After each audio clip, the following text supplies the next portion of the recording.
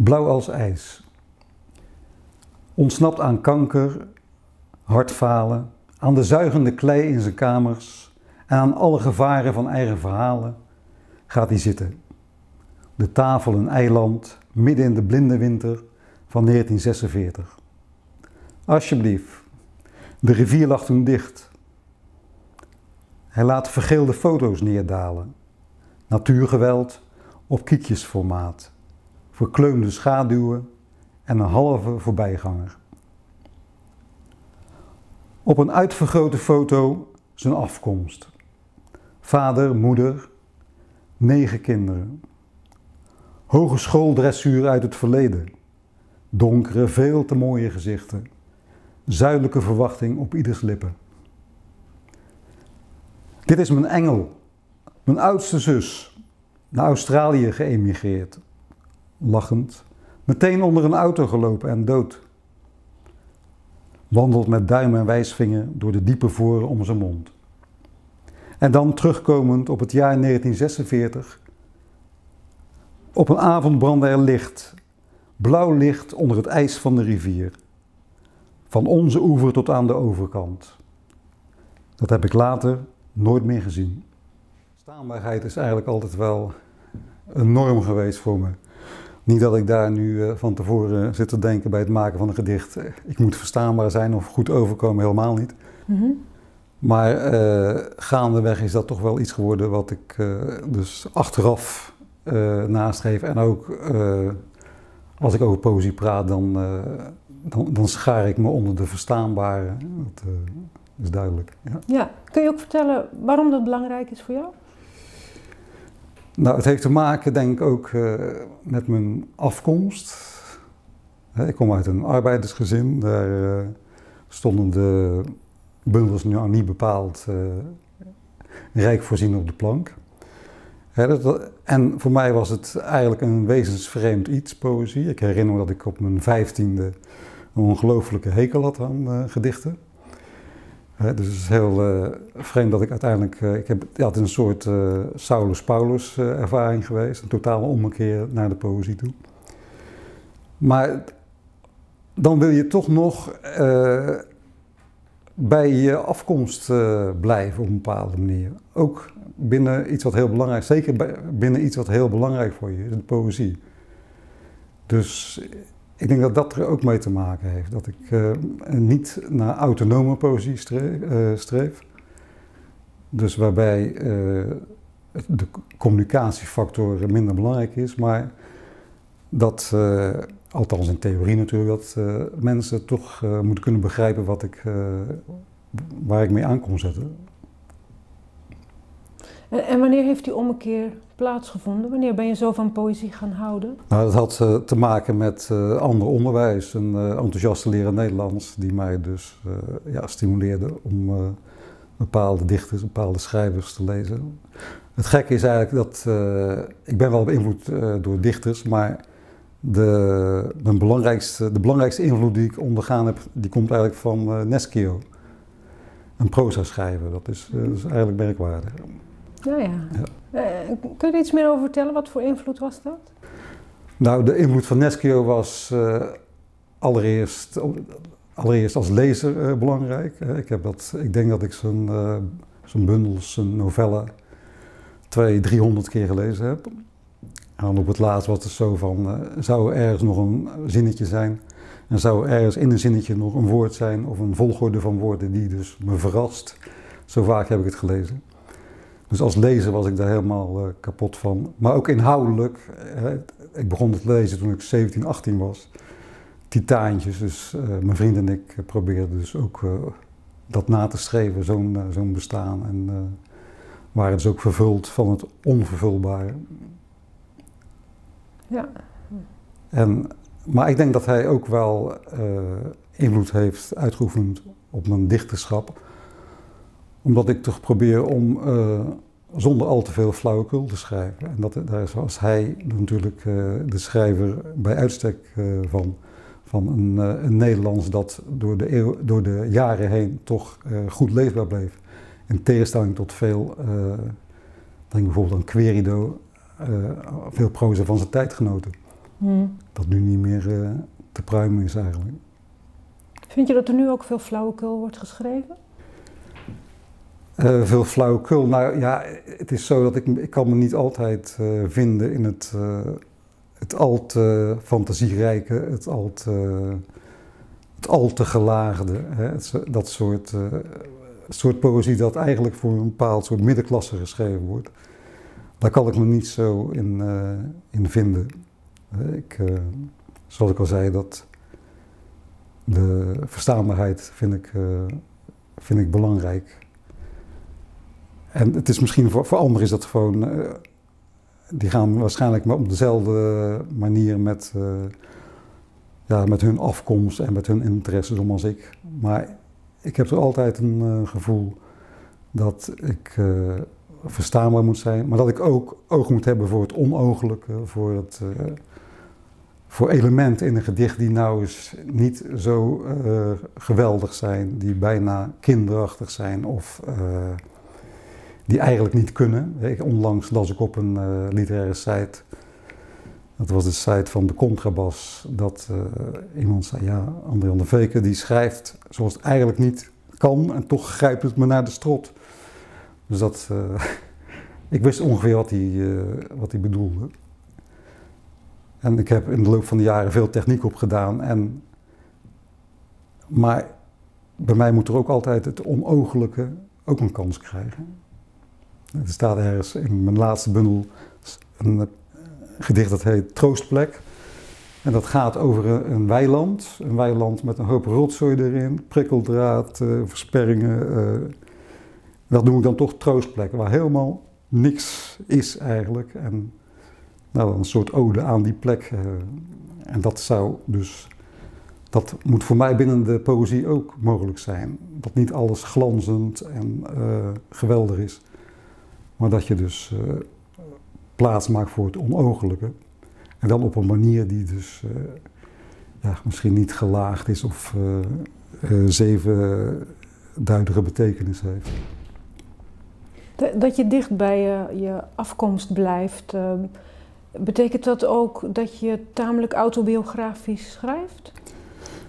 Uh, ja, er zitten altijd veel autobiografische elementen in. Bijvoorbeeld in de Rotterdam Vertrekt is een hele thematische reeks opgenomen over de tijd dat ik in Rotterdam uh, woonde. Dus van uh, geboorte tot uh, vertrek toen ik een jaar of tien was.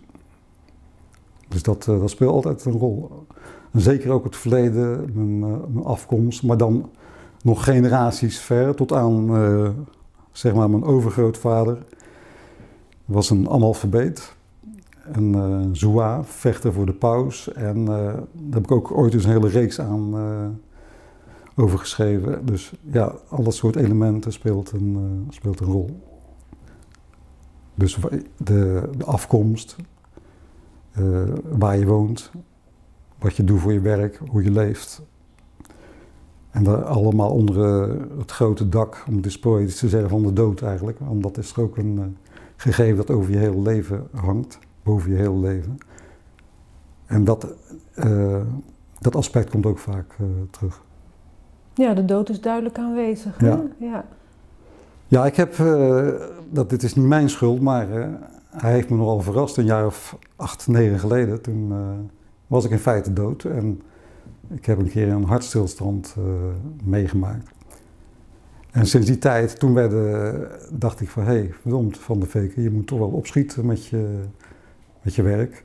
En je schrijft maar gedichten, maar je doet er uh, eigenlijk weinig mee. Dus sinds die tijd ben ik eigenlijk uh, begonnen met bundelen en uh, ook in een verhoogd tempo van schrijven. Dus ja, dat, dat, dat moet er wel mee te maken hebben, vermoed ik. Dat, ja. Dus ik, uh, ik kan het iedereen aanbevelen. Dat, uh, Mm. Een hartstilstand. het, het, is natuurlijk, het komt zeker heel veel meer voor, gedichten schrijven, hè, om de dood te bezweren, om over het graf heen nog een beetje te kunnen regeren. Uh, lukt het enigszins voor je gevoel om de dood te bezweren met schrijven? Nou ja, ik moest, ik moest, eerst moest ik hem bezweren dus in mijn geest. Want ik weet nog wel, ik, was, ik had dus die hartstilstand gehad, de hele, hele boel. En ik was toen uh, tijdens die periode was ik in het ziekenhuis niet bang, maar wel daarna, toen ik thuis kwam. Ik kon eigenlijk helemaal niks meer, uh, zelfstandig. En op een gegeven moment dacht ik van, ja, wat is dit nou? Uh, ik kan helemaal niks zelfstandig. Mijn vrouw moet overal bij zijn. Als dat zo door moet gaan, dan kan ik net zo goed dood zijn. Want ik ben gewoon bang dat het nog een keer gebeurt. Dus en vanaf dat moment uh, was het gewoon eigenlijk de angst uh, voorbij. Dus ik was niet bang meer. Ik kon gewoon weer alleen zijn. Dat was al na zes weken geloof ik of zo. Na twee maanden ging mijn vrouw op vakantie met mijn zoontje en ik bleef thuis en nergens last van. Maar dat wil niet zeggen dat dat natuurlijk dus een, uh, dat dat altijd zo is, hè, dat je dus altijd op hetzelfde punt blijft hangen het kwam wel terug in de poëzie natuurlijk. Maar het zou natuurlijk absurd zijn als je zoiets meemaakt dat dat niet in je werk voorkomt. Mhm. Dus in Moerasbeest Verdriet heb ik, uh, ook, ben ik ook uitgebreid teruggekomen op het uh, gebeurde. En dan speelt het bezweren van de dood zeker een, een rol, absoluut. Wat me wel opvalt in Rotterdam vertrekt, is, is dat daar als die, die gedichten over Rotterdam, die gaan inderdaad over je jeugd, hè, zo lijkt het en dan bevestig je ook, dat daar ook al een permanente dreiging aanwezig is. Is, is dat ook een beetje het, verhaal van je leven, dat, dat je altijd die dreiging voelt van wat er mis zou kunnen gaan? Nou, dat, uh, dat is inderdaad zo. Kijk, ik ben geboren op een. Uh, op een plek in Rotterdam waar dus heel weinig ruimte was. Zeg maar twee hoog achter met uh, een aantal volwassenen, vijf in totaal, en vijf kleine kinderen. Of uh, drie kleine kinderen op het laatst. Dus er was eigenlijk helemaal geen ruimte voor, voor, voor een kind. Dus dat was, en ik kon ook niet naar buiten, ik kon niet buiten spelen, dat was veel te gevaarlijk. Dus toen ik eenmaal buiten kwam, toen was ik inderdaad uh, doodsbenauwd. Want uh, dat was in één keer kwam. Ik herinner me de, eerste keer dat ik naar, een, naar de kleuterschool ging, heette dat toen. En dat ik helemaal verstarde, omdat ik, ik was nog nooit met kinderen in contact geweest. En ik denk dat ik me ook onmiddellijk ook al afvroeg van, ja, waarom gaat alles zo vanzelfsprekend bij die andere kinderen en waarom Denk ik dit? Waarom denk ik dat ik uh, dat allemaal niet aankom? Of dat ik er niet bij hoor, of wat dan ook. En ogenschijnlijk had uh, dat weinig invloed. Hè, want ik, ik, ik, herinner me geen enkele periode in mijn leven dat ik dus gepest werd. Of dat ik het extreem moeilijk had. Maar toch altijd als een soort schaduw hing, uh, hing toch die angst over me heen. En die zich later zou vertalen in een ongelooflijke uh, beheptheid om alles goed te doen. Middelbare schoolperiode. Uh, als ik een, wilde ik alles, zo hoog mogelijke cijfers, alles zo goed mogelijk doen. Bang om te falen. En dat heb ik dus, dat heb ik nog steeds. Ik kan nog steeds dromen dat ik dus ergens niet op tijd ben, dat ik iets, een, een of andere scriptje wat dan ook verkeerd heb gemaakt. Het is me nooit overkomen, er is nooit iets misgegaan en toch altijd uh, die belachelijke angst. Dus uh, je vraag haalt heel wat overhoop. Dat, uh, ja, ja, ja. Hè, vanaf, nee, maar het is, het is duidelijk dat. ik zie dat nou ook ineens in een rechte streep. Oké. Okay. Ja. Maar dat je dan ooit zo'n bundel durft af te leveren en nog een heleboel ook. Dat moet dan toch doodeng zijn? Nou ja, een bundel maken, dat is ook doodeng, want het gaat allemaal heel goed. Hè? Gedicht na gedicht na gedicht. Dat is allemaal prima. Maar ik heb dan een paar keer meegemaakt dat als ik dus eh, alles, op een, eh, alles dus eh, bij elkaar drijf. En zeg maar, het is de avond voordat ik het op moet sturen, dat ik denk, het is helemaal niks. Het is waardeloos. Donder het maar uit, uit het raam, want het, is, het kan niet. Dus daar moet je altijd even doorheen. Hmm. En bij ja, de laatste zes jaar heb ik zes bundels uitgegeven. En bij de eerste was het het ergst. Heel nacht wakker gelegen en ja, alles was mislukt.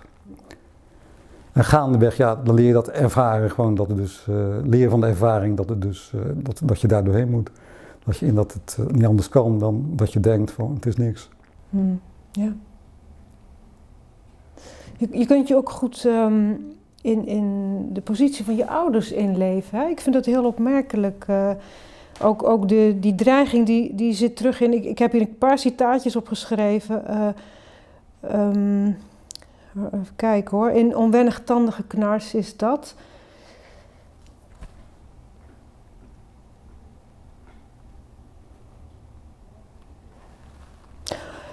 De wieg als een ravijn naast hun bed. dus, en de dreiging komt heel duidelijk vanuit dat kind. En de honger van de baby is vijandig groot, schrijf je. Ik vond dat heel opmerkelijk. Dat is een perspectief wat je niet vaak ziet. Uh, wat, wat is precies de gedachte daarachter? Of denk jij dat jij een bedreiging was voor je ouders? Nou, ik denk niet alleen ik, maar de hele situatie. Mijn ouders moesten dus uh, in een periode van grote woningnood na de Tweede Wereldoorlog moesten ze inwonen bij uh, de ouders van mijn uh, moeder.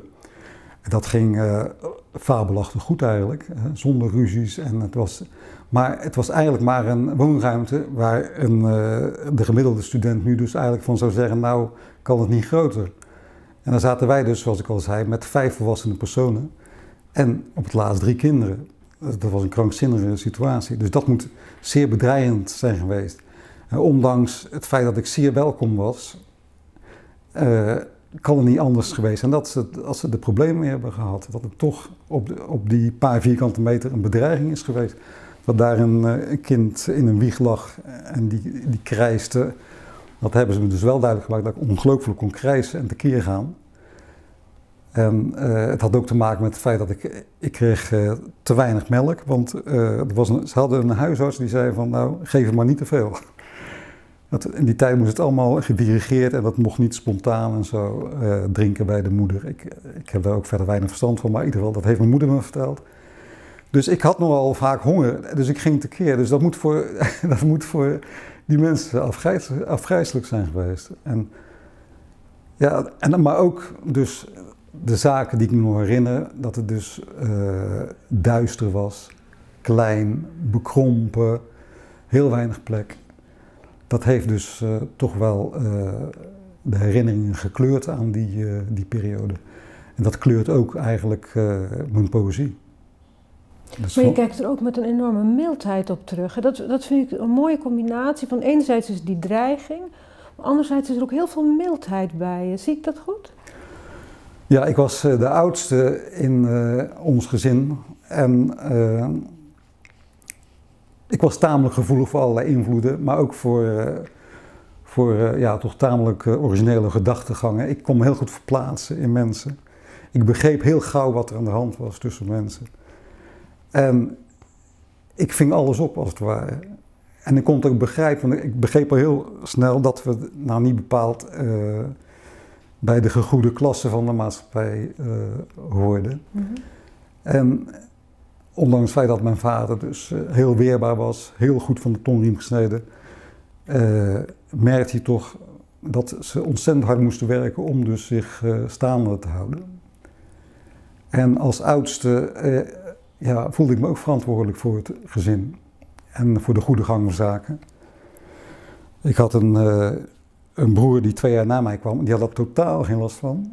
Als een ongelofelijke bandiet en die probeerde zich overal te drukken en maar ik was, nou, ik was niet braaf, dat niet, maar ik had enorm veel verantwoordelijkheidsgevoel. En ik uh, ja, probeerde dus altijd, dus thuis in ieder geval, het goede te doen. Het aardige was, als ik buiten kwam, dat ik daar totaal geen last van had. Dan, uh, dan leek ik veel op mijn broer, maar thuis was ik dus heel erg geporteerd om dus voor het gezin op te komen. En ik denk dat dat, uh, dat afgeleide dus ook in mijn poëzie is gekomen. Dus, dat ik in feite gewoon de tegenstellingen binnen die situatie van mijn jeugd uh, probeer weer te geven. En moest je buiten een soort gezicht ophouden? Ja, buiten moest je gewoon de strijd aangaan.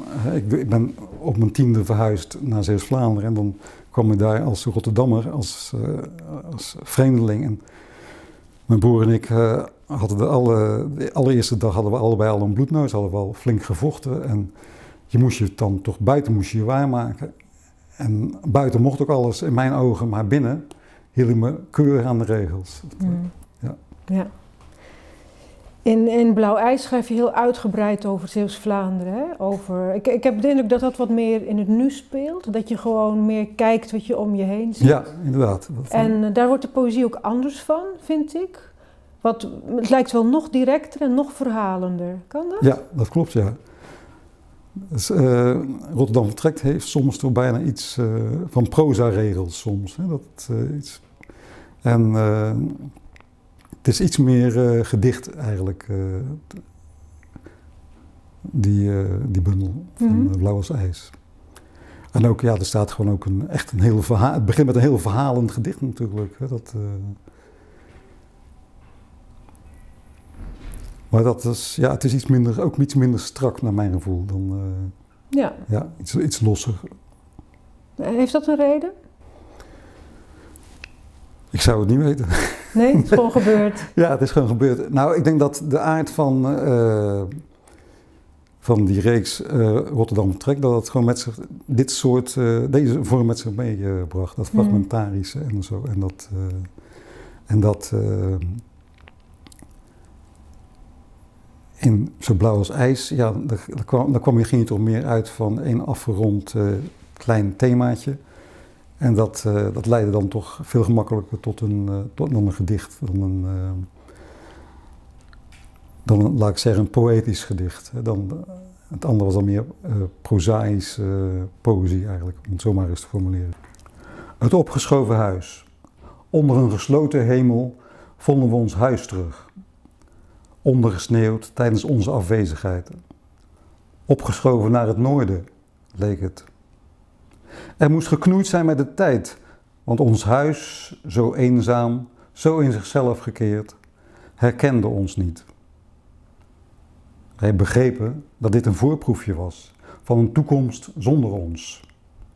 Zo zou het huis erbij staan, onaangedaan, als wij waren verdwenen. Ja, de dood is in de buurt, hè? Altijd. Ja, ik. Nou, ik moet, erop, uh, ik moet er eigenlijk uh, bij zeggen dat, dat, wij, misschien hebben we een soort, toch hebben we een goede verstandhouding, de dood en ik. Want ik moet het eigenlijk misschien ook afkloppen, maar hij komt nooit te dichtbij. Nou goed, hij is al, ik heb het al verteld, hij is al akelig dichtbij geweest, maar ik schat dat ik in mijn leven toch zo'n zeven, acht keer echt ontsnapt ben aan de dood. Dat wil zeggen dus verdronken en bewusteloos uit water gehaald en weer gereanimeerd. Uh, hartstilstand uh, en nog zo zes, zes, zeven dingen. Dus hij blijft tot nu toe altijd op voldoende afstand. Maar het, ik heb dus eigenlijk altijd geluk bij een ongeluk. Hmm. Maar het is wel zo dat ja, die verhouding moet dan wel op schrift gesteld natuurlijk. Dat is wel, anders zou ik hem tekort doen, denk ik. Zou je ook eh, zelf een gedicht willen kiezen over eh, Zeeuws-Vlaanderen? Ik heb daar zelf geen keuze in gemaakt, maar ik ben wel heel benieuwd wat je zou willen voorlezen daaruit. Ja, dan pak ik. Uh...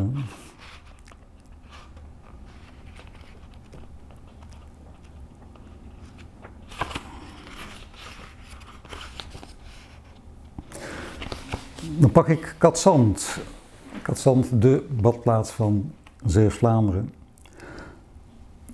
Het water pakt hier alles binnen één grote stroom.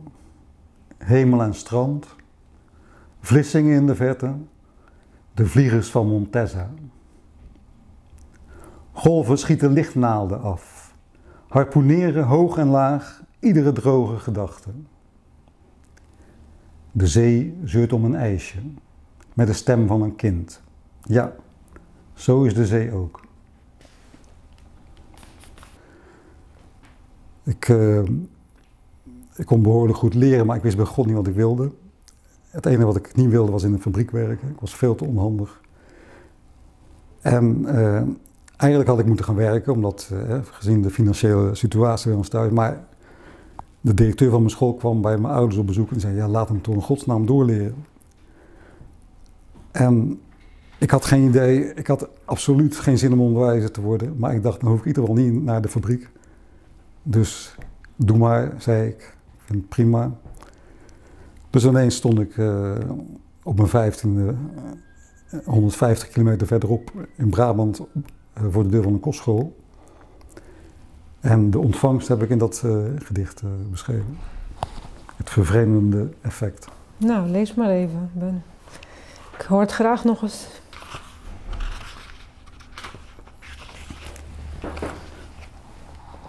De ontvangst. Geen kreek, geen rivier in de buurt, maar het leek op aanmeren. We gingen aan land in een dorp. Minder dan een dorp was het. Een straat met boerderijen en rouwende schoolgebouwen. Onze bestemming, hekken en muren, een smeedijzeren poort, rondhangende ouderejaars die bloed roken. We sleurden onze koffers langs vijandige blikken, schudden onbekende handen en luisterden op een zonovergrote plein naar het ergste, een welkomstwoord. Boven onze hoofden een feestelijke optocht van wolken, witte wolken op weg naar huis.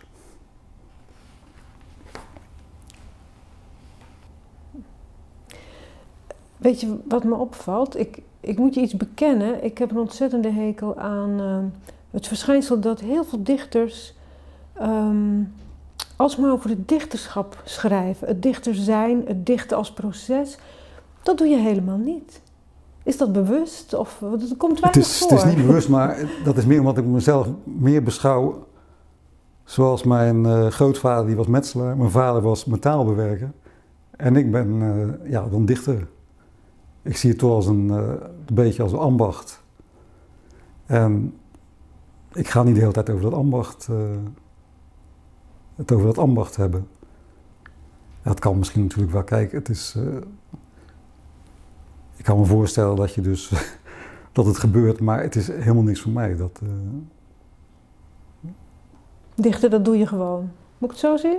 Ja, ik heb er nou eenmaal voor gekozen, voor, voor het dichten. Hè? En dan ook, uh, ja, dat is het. Dus ik wil er niet interessanter over doen dan mijn vader zou gedaan hebben of mijn overgrootvader, of mijn grootvader, bij wijze van spreken.